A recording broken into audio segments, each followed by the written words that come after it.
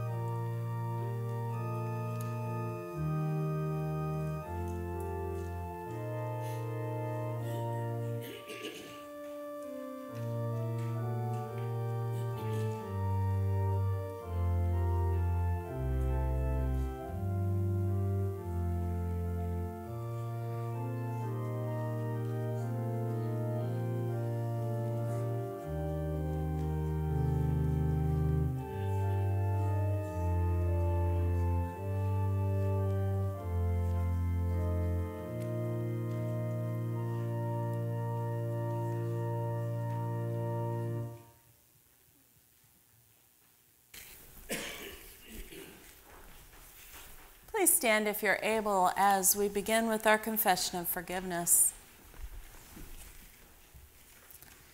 In the name of the Father, and of the Son, and of the Holy Spirit. Amen. Amen. God of all mercy and consolation, come to the help of your people, turning us from our sin to live for you alone. Give us the power of your Holy Spirit that we may confess our sin, receive your forgiveness, and grow into the fullness of Jesus Christ, our Savior and Lord. Amen. Amen. Let us confess our sin in the presence of God and of one another.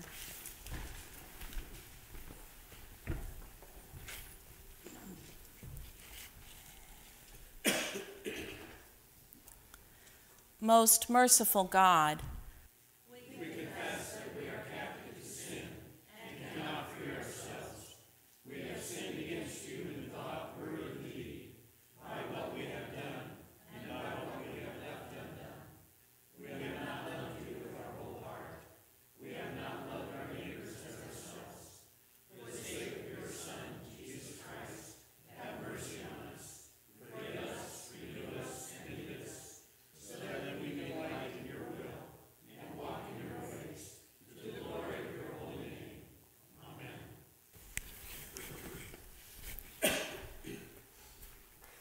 In the mercy of Almighty God, Jesus Christ was given to die for us, and for his sake forgives us all our sins. As a called and ordained minister of the Church of Christ, and by his authority, I therefore declare to you the entire forgiveness of all your sins, in the name of the Father, and of the Son, and of the Holy Spirit. Amen. Please stand as we sing.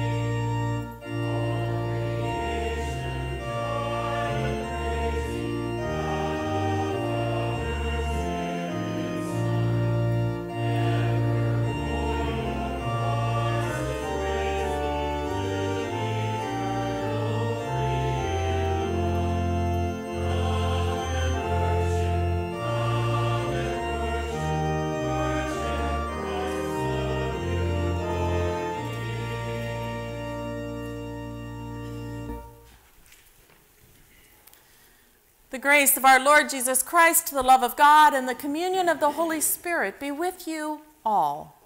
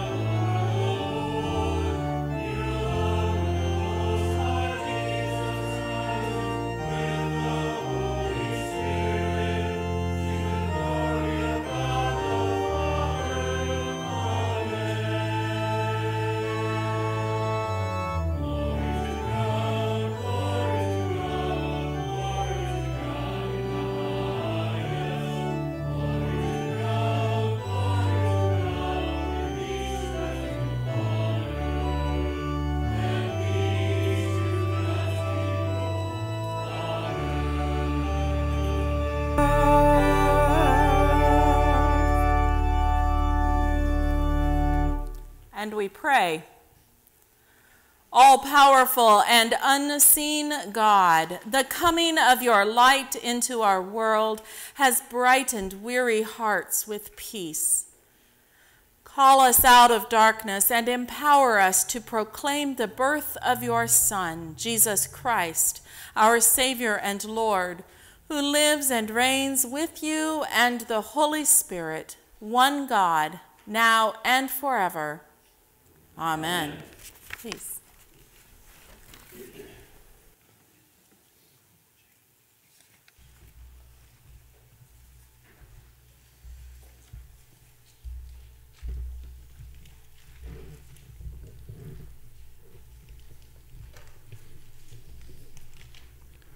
A reading from Isaiah. Upon your walls, O Jerusalem, I have posted sentinels. All day and all night they shall never be silent. You who remind the Lord, take no rest, and give him no rest until he establishes Jerusalem and makes it more and more throughout the earth.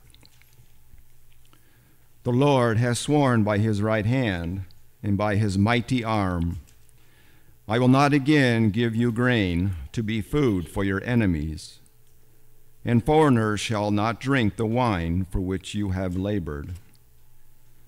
But those who garner it shall eat it and praise the Lord, and those who gather it shall drink it in my holy courts. Go through Go through the gates, prepare the way for the people. Build up, build up the highway, clear it of stones. Lift up an ensign over the peoples. The Lord has proclaimed to the end of the earth Say to the daughter Zion, See, your salvation comes. His reward is with him, and his recompense before him. They shall be called the holy people, the redeemed of the Lord. And you shall be called sought one, a city not forsaken. The word of the Lord. We will intone Psalm 97.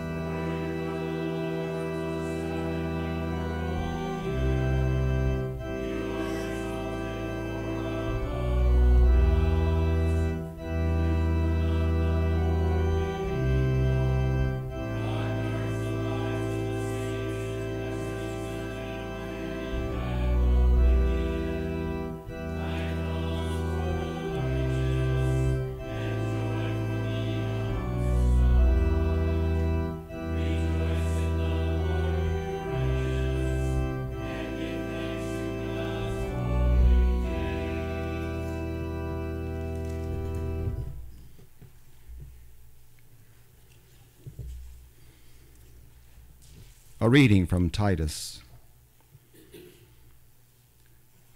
When the goodness and loving kindness of God our Savior appeared, he saved us, not because of any works of righteousness that we have done, but according to his mercy, through the water of rebirth and renewal by the Holy Spirit. This Spirit has poured out on us richly through Jesus Christ, our Savior, so that having been justified by his grace, we might become heirs according to the hope of eternal life. The word of the Lord.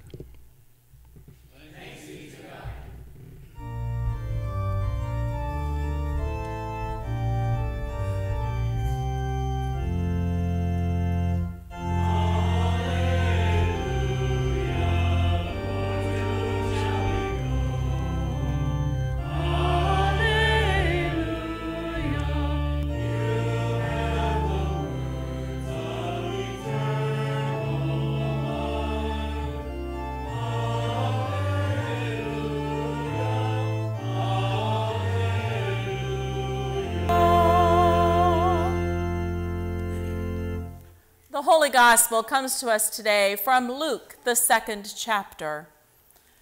Glory to you, O Lord. In those days, a decree went out from Emperor Augustus that all the world should be registered. This was the first registration that was taken while Quirinius was governor of Syria. All went to their own towns to be registered. Joseph also went from the town of Nazareth in Galilee to Judea, to the city of David called Bethlehem, because he was descended from the house and family of David. He went to be registered with Mary, to whom he was engaged, and who was expecting a child. While they were there, the time came for her to deliver her child. And she gave birth to her firstborn son, and wrapped him in bands of cloth, and laid him in a manger, because there was no place for them in the inn. In that region, there were shepherds living in the fields, keeping watch over their flock by night. Then an angel of the Lord stood before them, and the glory of the Lord shone around them, and they were terrified. But the angel said to them, Do not be afraid. For see, I am bringing you good news of great joy for all the people. To you is born this day in the city of David a Savior, who is the Messiah, the Lord. This will be a sign for you. You will find a child wrapped in bands of cloth and lying in a manger. And suddenly there was with the angel a multitude of heavenly hosts, praising God and saying, Glory to God in the highest, and on earth peace among those whom he favors. When the angels had left them and gone into heaven, the shepherds said to one another, Let us go now to Bethlehem and see this thing that has taken place, which the Lord has made known to us. So they went with haste and found Mary and Joseph and the child lying in the manger. When they saw this, they made known what had been told them about this child, and all who heard it were amazed at what the shepherds told them. But Mary treasured all these words and pondered them in her heart the shepherds returned, glorifying and praising God for all they had heard and seen, as it had been told them. This is the gospel of our Lord. Praise, Praise to you, O Jesus. Please be seated.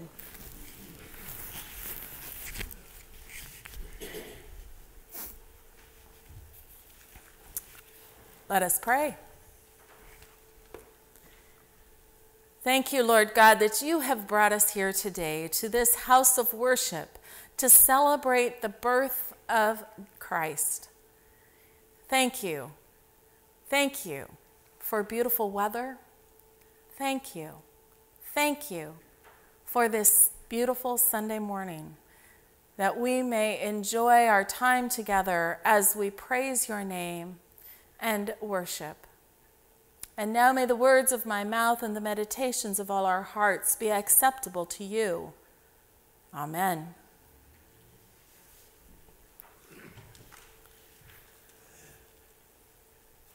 But Mary treasured all these words and pondered them in her heart. We have no words from Mary telling us what she was thinking. Of course, a teenage mother with no wealth and no power and no husband per se. Mary had no access to paper. She had no scribe to write her thoughts as she dictated them. And so we have her silence. Her silence as she treasured all these words and pondered them in her heart. If only she had been rich or powerful, perhaps something would have been recorded. But then Pilate's wife only gets a few words. No, young Mary sitting in a stable, was still a woman in a time when women rare, rarely were recorded at all. If Jesus had been born today, I wonder if Mary would have tweeted the news, hashtag I'm the mother of God.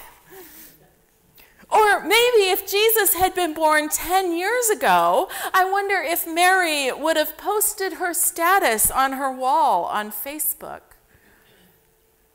Or, of course, if Jesus had been born 40 years ago, I wonder if they would have gotten a color photo on the front page of the newspapers and magazines. If Jesus had been born a hundred years ago, I wonder if Mary would have written in her diary Dear Diary, the most extraordinary things have happened. As you know, I was required to ride all the way to Bethlehem for this ridiculous census thing. Never mind that my back was aching so badly from the child. I told Joseph I might feel better walking part way, but he wouldn't hear of it. He's so protected, protective of me and this special baby. I still can't imagine how all this can be happening to me. An angel of the Lord coming to me, telling me I would bear a child, a special boy, the Savior we've been waiting for. And now I rock this baby on my lap. He looks like any other baby, though being my baby, I think he is the most beautiful of all babies. Of course, I've been almost afraid to touch him since the angel told me he would be holy, the Son of God. At first, I just stared at him in wonder, tiny bundle, wrinkled and pink. There we sat in the stable, Joseph carefully attending to both of us, while shepherds began arriving. They came in and talked to us, some of them talking so fast I could barely make out what they were saying. They were so excited. They drew quite a crowd, too. I was worried that we would be jostled and hassled and sent away, but the shepherds kept talking about angels who told them to come see us. They talked about singing and praising God, and glory to God in the highest heaven, and on earth peace among those whom He favors. And they tried to sing like the angels did, but they kept interrupting each other, saying it was more like harps, or tinkling bells, or flutes, or tambourines, or drums, or water or wind. And they were bubbling, yes, shepherds bubbling with laughter and joy. The most amazing thing, though, was the crowd of people who believed them. It was as if they were infected with the joy and wonder by the shepherds. And then, before I knew it, everyone left. Oh, it was noisy departures, but everyone left to tell somebody else. I still can't believe that I am the mother of this baby. I am amazed. When I look in his face, I am filled with wonder and joy and awe. There are no words that can quite describe this experience. And so, with God's blessings, I will sign off for now, dear diary. Obviously, we do not have a diary entry like this one. We have no words from Mary telling us what she was thinking. We have her silence as she treasured all these words and pondered them in her heart. May your pondering be blessed by God. Amen.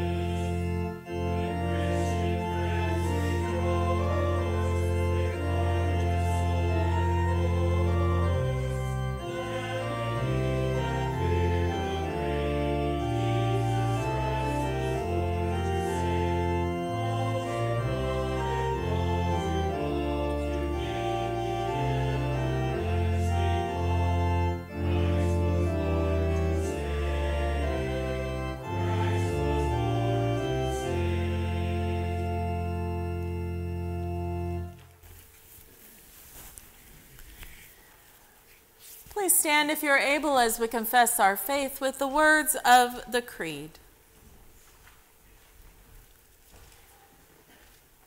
I believe in God.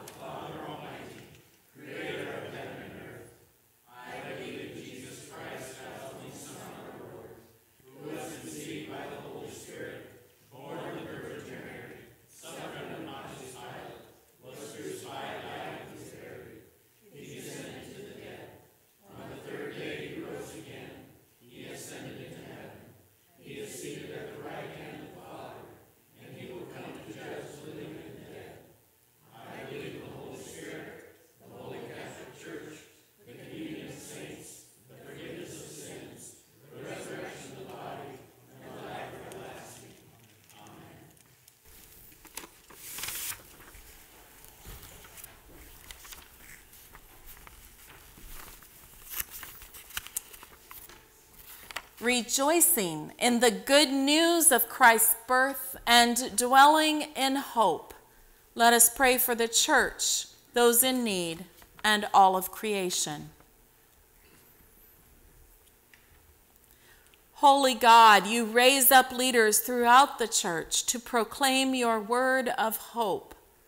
Unite the church through the good news of salvation so that all will know and experience your glory. Lord, in your mercy, Holy God, you created mountains and hills, seas and rivers, and all creatures. Reveal to us the goodness of all that you have made, so that we live wisely with these your gifts. Lord, in your mercy. Holy God, you desire that all people live in peace.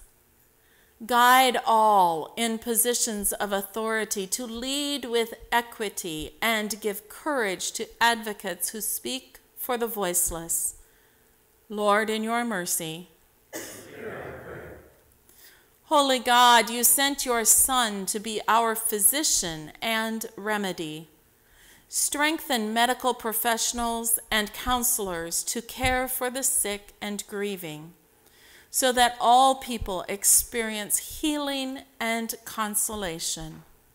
Lord, in your mercy. Holy God, you gather us together in community, blessing us with friends and family. Make yourself known to all who participate in worship today and send us forth to serve our neighbors. Lord, in your mercy. Holy God, you show your love and faithfulness in every generation. Through the witness of our ancestors in the faith, you have shown us how to testify to your grace and truth. Lord, in your mercy.